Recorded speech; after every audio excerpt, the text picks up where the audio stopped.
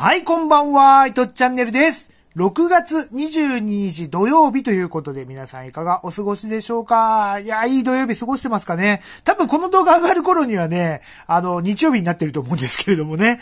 はい。で、先週ね、木曜日僕ね、御徒町、ね、上野の隣ですね、御徒町でね、飲みに行ってたんですけれども、あの、仲間内とね、ちょっと飲んでたんですけれども、あそこ結構ね、中華料理屋さんがね、あの、充実してきてて、で、中華料理っつっても日本の中華とはちょっと違って、本場の中華ね、えー、食べてきたんですけれども、で、本場の中華ではね、あの、羊の串焼きみたいなのが結構有名で、ちょっとそれ食べてきたんですけれども、あの、卓上にね、コンロがあって、それで自動機でね、コロコロコロコロ転がしながら食べるみたいな感じで、こんなイメージですね。これがね、ちょっと待ってくださいね。これちょっとフォーカスがね。こんな感じでね、コロコロコロコロやって見て、この熟熟具合。ね、熟熟水虫みたいな感じだった。表現の仕方みたいなね。熟熟水虫みたいな。あの、なんね、絆創膏を貼って、なんかちょっとそのままつけっぱなしにしてたらなんか傷跡ジュクジュクしてるみたいなね。そんな感じのね、なかなかのジューシー具合でね、これ美味しそうだなぁなんて思ってね。これがね、また食べるとね、ビールと合って美味しいんですよ。ねね仲間内って言ってもおじさんしかいないね。そんな感じの仲間内で、これ食べに行ったんですけど、おっさんしかいないっていうね、えー、悲しい感じなんですけれどもね。まあね、こんな感じで美味しかったです、すごくね。で、そんな中ね、チャレンジメニューだっつってね、これ食べたんですよね。これ何かっていうとね、あの、蚕の蛾があるじゃないですか。蛾の蚕、眉作るやつね。で、この蛾をね、蛾の幼虫ですね。さなぎですかね。これもね、中国で食べるらしいんですよ。蚕の蛾のね、さなぎ。眉取った後のやつ。これをね、串焼きにしてね、これ、これもちょっとチャレンジメニューで食べてみようみたいな。みんなね、4人で行ったんですけど、4本あるんですけどね。食べてみようつってね、これが焼いたんですけれども、焼いたらなんか10熟熟のね、なんかよくわかんない白い汁出てね、もうね、とんでもねえ感じになってたんですけどね、あ、ごめんなさい、ちょっとね、切れちゃいましたね。とんでもない感じになったんですけど、まあこれがね、まあもう食べたんですよ、焼いて食べたんですけども、なんか口の中からなんかね、くっさい汁出てきてね、久しぶりにね、ちょっと僕ね、一口食べて吐きそうになったんですけども、やっぱ虫だと思って食べるから良くないのかなと思って、もう一個ね、あ違うもんだと思ってね、なんかこうクリーミーななんか、あの、木の実だと思って食べたんですけど、やっぱりね、美味しくなくて。パッつってね。食べたんですけど、吐いたんですけどね。で、久しぶりに込み上げるね、何かが出てきてね、ちょっとね、あんまりね、中国でも食べてるの本場すぎるけど、虫とかやっぱ僕合わないんだななんてね、えー、思いました。まあ皆さんもね、昆虫食べるときはちょっと注意していただければなと思うんですけど、慣れないとダメですね、あれね。あとね、虫系食べる YouTuber の方の結構いると思いますけどね。あれやっぱね、尊敬すべきなんだなぁなんてね、ちょっとね、改めて感じた次第でございます。なんかね、美味しかった昆虫とかあれば、あの、コメント欄にいただければなと思います。はい。で、今日はね、何をするかというと、こちらですね。買おうか迷ってる方多いと思うんですけれども、あの、あやねをですね、あやねを、えー、ポケット、S ですね。こちらがね、ちょっとね、まあ、迷ってる人用にね、ちょっとこういうものですよっていうのをしっかりね、見せていこうかなと思って、まあ、今回2回目ということで、アヤスペースの話と、あと、ここら辺のコントロールパッドの方どうなの？この格ゲーちょっと動かしてみたりとか、あと、ちょっとね、重たいソフトまた動かしたりとか、普通のね、えー、ノーマルのゲーム動かしてみたりっていったところをね、えー、やっていきたいなと思っております。まあ、いろいろね、ソフト動かそうと思ってますんで、見ていただければなと思います。じゃあね、早速やっていきたいと思います。はい、じゃあね、早速ね、あやねをポケットエース動かしていくんですけれども、まあ一番のね、ランチャーって何ですかっていうと、あやスペースなんですよね。あやねおの一番のね、システム。まあこんな感じで普通に Android スマートフォンのね、ゲーム機みたいな感じで使えるんですけれども、一番使うの何かっていうと、こちらなんですよ。あやスペースになります。で、このあやスペースのちょっと説明をね、いろいろしていこうかなと思います。で、僕はね、SD カードに ROM フォルダーっていうのを作って、その ROM フォルダーに書くね、あの、あれですね、えー、ゲームコンソールごとにフォルダー作って階層として作っているという状況です。で、これをね、読み込むとね、自動でね、作ってくるんですよ。アイアスペースめちゃめちゃ、あの、優秀で、ライバル、ライブラリー化がね、すごいしやすいということで、で、読み込むとね、こんな感じでね、スーパーファミコンとかね、プレイステーション2とか、ゲームボーイアドバンス、もう自動で作ってくれるんですよ、これ。あのー、ロムデータなのか、フォルダーデータなのか読み込んでね。こんな感じでね、いろいろ作ってくれて、ね 3DO とかね、PC エンジン専用のやつがね、あるんですよ。カプコンのやつとかね、セガサタン、PCFX。PCFX までね、準備してくれてるってのは嬉しいですね。ほとんどソフト出てないのにっていうね。あと、ワンダースワンカラーとゲームキューブみたいな。あとね、追加していけばどんどんどんどん追加できます。こんな感じでね、えー、たくさんのものが追加できますんで、えー、これ追加ボタンを押してね、こうやってポチッと押して、えー、どれを追加しますかっていうのでね、あのー、追加することができます。例えばね、まあ、今ソフト入ってないんですけど、X6 万 X68000 とかね、選択したりとかは、Wii とかですかね。ポチッと押して、えー、カンファームして。で、いろいろね、えー、なんか、どこにあんのっていうのをね、こうやって指定してあげてください。例えば僕のやつだと、ロムフォルダーですね。えー、ロムフォルダーを選ぶと、まあ、こんな感じになってるんで、まあ、例えば Wii のね、えー、ロムフォルダー作って、そこにソフトを追加して、えー、フォルダーしようっていうだけでね、えー、追加できます。これね、かなり簡単なんですよね。めちゃくちゃ簡単にね、こうやってね、使えますんで、ぜひね、アイアスペースね、まあ、あの、ちょっと難しくて使いにくいかもなんて思ったんで、思ったんですけど、最初も思ってたんですけども、めちゃくちゃ使いやすいです、これね。はい。といった感じになっております。で、例えばね、なんかちょっとソフトの事例見てみましょうかね。はい、じゃあね、これ、任天堂 DS のページに来てるんですけれども、まあこんな感じでね、ロムデータがバーっと入っている状態です。ちょっとね、下から見ていくとね、こんな感じになってます。で、今ね、悪魔城ドラキュラのね、ゲームが入ってるんですけど、パッケージアートがね、どうもね、自動で持ってきてくれてるみたいなんですよね。アイアスペースさんのね、なんか、あの、ところから、えー、自動で持ってきてくれて、で、なおかつこんな感じで背景、背景もね、ゲーム画面のやつやっていく。まあ結構かっこよく仕上がってるなといった感じです。で、他の悪魔城ドラキュラもこんな感じでね、はい、持ってきてくれてますね。で、まあこれもギャラリーオブギャ、ギャラリーオブラビリンスかな。これもね、こんな感じで持ってきてくれてます。で、あとはね、あの、自動、自動というか、これもね、ドキドキマジャ審判ディオっていうね、ちょっとかなりマイナーなゲームなんですけど、こういうのもね、と持ってきてくれてるみたいなんで、まあ、ここら辺もね、自由に設定できるのかなとは思うんですけれども、まあ、オートで持ってきてくれるのは嬉しいかななんて思います。これもね、ドキマジョプラスですね。はい。もう、もう見るからにね、いや、見るからになんかもう、エチエチなゲームっていうね。DS なかなかこういうゲーム多いんですよね。タッチペン使ってエチエチなことするっていうね、えー、ゲームが多いんですけども、まあこれもね、こんな感じで、えー、しっかりね、えー、できてるかなと思います。じゃあこれ日本語だとどうなってんのって、日本語もね、一応ね、ロムデータ読み込むんですけども、こんな感じでね、はい。一応ね、何も出てこないですね。はい。といった感じになっております。で、あとね、これを、例えばね、こうやってポチッと押すと、えー、どのフォルダ読み込みますかっていうのが出て、押すとってこれね、このアナログスティックを押し込むと、この画面が出てきます。ここでね、ポチッと押し込むとね。はい。で、えー、こんな感じでね、ロムデータどこの、今ロムデータの Nintendo DS フォルダ読み込んでますよ。まあ追加したい場合はここプラスってやれば追加できます。で、あとね、どのエミュレーターで立ち上げますかっていうので、えー、ドラスティック選びますよとか、レトロアーチのなんかね、このコアのやつ選びますよみたいなことができますんで、まあこれもね、インストールしたら自動でここにね、リストで出てきますので、かなりね、使いやすいです、これもね。どんなエミュレーター使いますかっていう感じになっております。はい。で、あとはね、これで選択して起動と。いう感じになっていればいいかなと思います。はい、じゃあね、早速ね、こちらの立ち上げてみましょう。こんな感じで立ち上がります。はい、こんな感じでね。レトロアーチでね、今立ち上げてますんで、こんな感じになっております。で、このね、文字、えー、十字キーとか邪魔だなって言ったらこうやって消していただければ、これで消えますかね。これで消えますかね。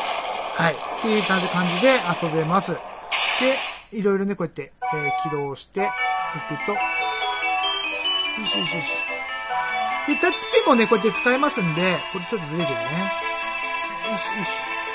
こんな感じでちょっと使えますんで、まあ書き終わったらこうやって、よし。よいしょ。よし、こんな感じでね、いけますんで、こんな感じで遊べます。はい。まあ、ちょっとこれ長いんでね、こんな感じになっております。ちゃんと起動しますね、といったところです。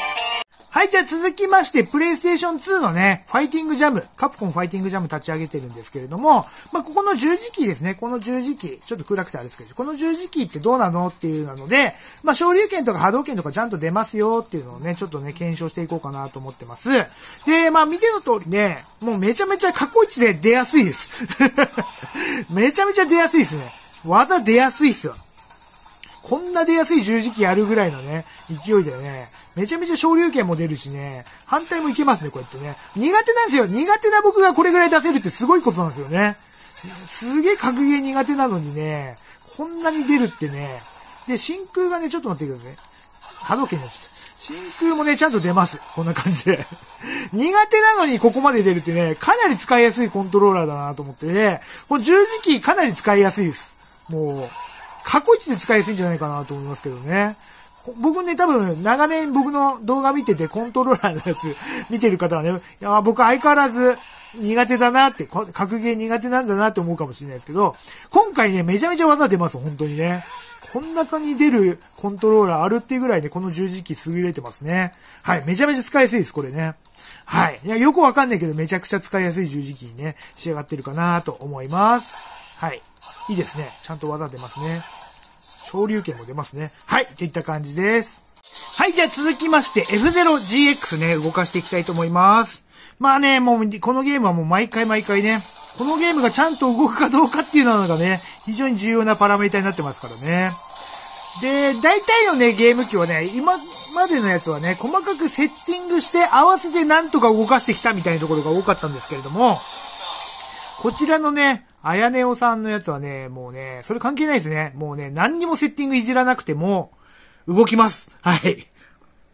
もうね、今何にもいじってない状態ですね。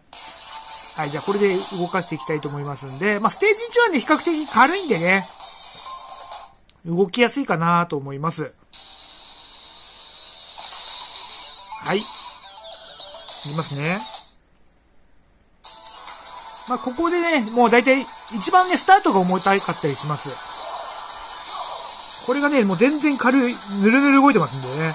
もう実機と同じぐらいのね、レベルで動くようになってますんで、おーおーおおこんなに速いとね、もう、すごい速さですよね。本当にね、こういう時代来んのかなってちょっとね、思っちゃったりするんですけども。ねえこれでだってクラッシュしたらもう確実に命の危険感じますよね。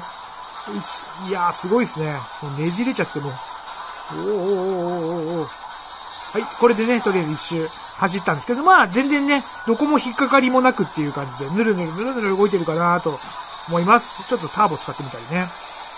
よし、もうね、このスピード感がね、すごい重要なんだよね、このゲームはね。よし、もうこのスピード感なかったら F0 じゃないみたいなね、ところありますよね。よし。おー、危ない。逃しちゃった。この加速マーク逃しちゃった。はい。こんな感じですね。もうね、一周が早い。もうファイナルラップですからね。よしよし。こんな感じでね、かなりしっかり遊べますもん、これね。あ、ばいばい。よし。何の設定もね、調整する必要なく、いけるかなと思います。よしよし。よっしゃーよっしゃーあー、よっしゃーはい、こんな感じですね。まあ、ステージ1はね、結構軽いんでこんな感じでしっかり動くかなと思います。ちょっとね、ステージ3行ってみたいと思います。ちょっとね、飛ばします。はい、じゃあちょっとね、ステージ3までね、行きました。このステージがね、結構重たいんですよね、F0 の中ではね。なので、ちょっとこちら動かしてみますが、特にね、今のところ問題なさそうですね。このね、なんか砂のステージなんかね、重たいんですよ。パソコンで遊んでてもね、カリカリになったりすることが多くて、結構ね、負担、負荷のね、大きいステージなんですけども、ここもね、サクサク、ぬるぬる動いてるかなと。うわ、ジェットコースターみたいですね、もうね。うおー、もうぶっつぶって、めちゃめちゃぶつかってきますね。はい。こんな感じでね。とりあえず一周走ってみて、特に、あの、遅延なければいいなとは思いますけれども。よし、今まだ18位とかですからね。よいしょ。よいしょよいしょよいしょ。もうね、ちょっと難易度高くなってきてね。コースも。よし。早いですね、みんなね。さすがにね、30台同時に走るのやばいっすよね。もうスピード感やばいっすよ、もうこれ。これなんで任天堂スイッチで新しいの出してくんないんですかね。ほんとね、F0 はね、もうこれが最新作ですから、今のところね。おーおーおーまあ、一応任天堂スイッチでね、F099 みたいなのやってますけどね。あれもなんかね、楽しいですけど、これはね、やっぱスピード感欲しいですよね。こういうね。よっしゃー。よっしゃー。ね、何にも、カリカリするとこないですね、今のところ。おー、めちゃめちゃぶつかってますけどね。おー、なかなかね、抜けないですね。敵が速くても。速いなもうおっさんの反応速度じゃついていけないですね。もう、おっさんはついていけないですよ、もうこの速さ。なんとかね、今あの、おっさんついていってますけど、普通のおっさんだとついていけないですね、もうこれね。ちょっとね、僕みたいにちょっと口が臭いおっさんじゃないとね、ついていけないですね、これはね。もう口が臭いおっさんじゃないとついていけない速度でやってますね。あ、ばいばいばいばいばいばいばい。ばいばいばい。そうですね、もう。もうね、これだけ早いからもう口の中に空気入っちゃって口臭くなるわっていうね、話ですよ。うわーすごいね、もうこれ。おーおーおーお、ちょっとね、もうファイナルラップだから、なんとか、なんとか、あーやばいやばい、やばいやばい、やばい、やばいよやばいやばい、やばい、やばい、やばい、やばい、あー爆発しちゃった。はい。こんな感じですね。はい。なんとか大丈夫。遊べるんだけどダメでしたね。はい。こんな感じしっかり遊べるかなと思います。はい、じゃあ続きまして、えー、ゲーパスですね。Xbox ゲーミングパスやっていきたいと思います。フォルツァモータースポーツですね。やっております。ちょっとね、行きたいと思いますね。このまんまね。ちょっとね、うちのネットワーク環境がね、良くないんですよね。これがちょっとね、ネックになっております。ほら、もうビャーってなって、これね、本体の問題じゃなくてね、うちのね、ネットワークの関係なんですよね。これでちょっとね、ちょっと走ってみたいと思います。いけるかな？大丈夫そうです。あー、ちょっと来てますね。ちょっと、電波プリッと来てますけど、まあ、なんとか遊べそうな感じがします。うわ早いね、周りみんなね。はい、こんな感じで、フォルツァのね、こういう本格、グランツーリスモのような本格レースゲームがね、Xbox のゲーパスだと遊べます。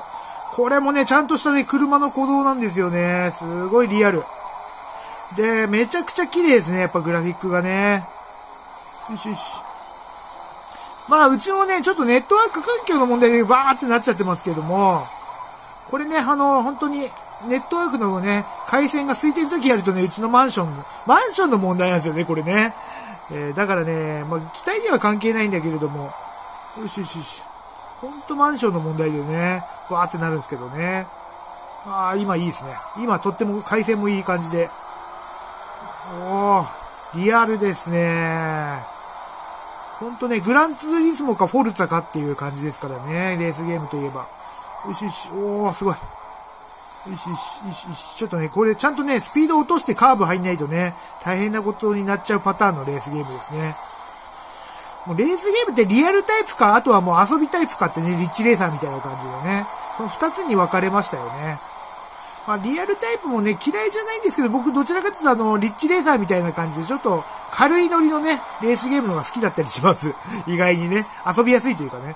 えー、よし、リアルすぎを求めすぎなんだよね、これがね。おーおーおーおーよしよしよし。いい感じですね。おーおーおーおーおーよし。こんな感じで、かなりね、綺麗に走れるかなと思います。いい感じです。はい。まあ、ゲーパスもね、しっかり、あの、アクセルとかブレーキ、L2、R2 がね、時々動かないとかっていうこともあるんですけども、これはね、大丈夫ですね。しっかりやっぱり Xbox のゲームも遊べるというところが確認できております。はい。こんな感じでゲーパスもね、しっかり遊べるかなと思います。はい。ということで、えー、本日はあやねおポケット S、こちらの方のね、紹介2回目なんですけれども、いかがだったでしょうか？まあ普通にね、あやスペースの使い方とか、まあさらっとですけれどもね、使い方とか、あとはコントローラー周りですね。ここのコントローラー周りがね、非常に使いやすいっていうね、めちゃめちゃ格ゲーの技が出るぞっていうところとね、あとはあの、あれですね、F0 ですね。あちらも問題もなく動くよといったところとか、あとゲーパスとかもね、ちゃんと遊べますよということで幅広く使えますといったところをちょっと紹介させていただきましたが、いかがだったでしょうか？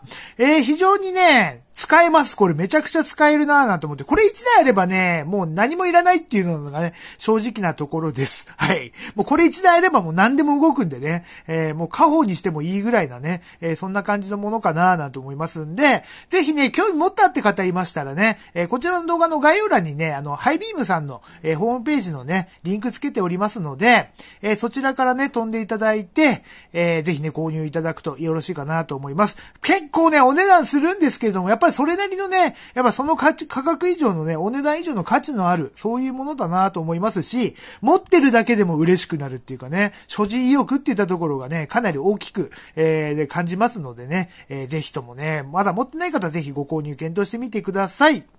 はい、ということでね、今日はこんな感じで終わろうかななんて思います。今日の動画良かったなって方いましたら、グッドボタン押していただけると嬉しいです。あと、こういうところも動かしてほしいみたいなリクエストがあればね、えー、概要欄のとこ、概要欄じゃない、コメント欄ですね。コメント欄のところにいただけると嬉しいです。はい、ということで今日こんな感じで終わります。伊藤チャンネルでした。また次の動画でお会いしましょう。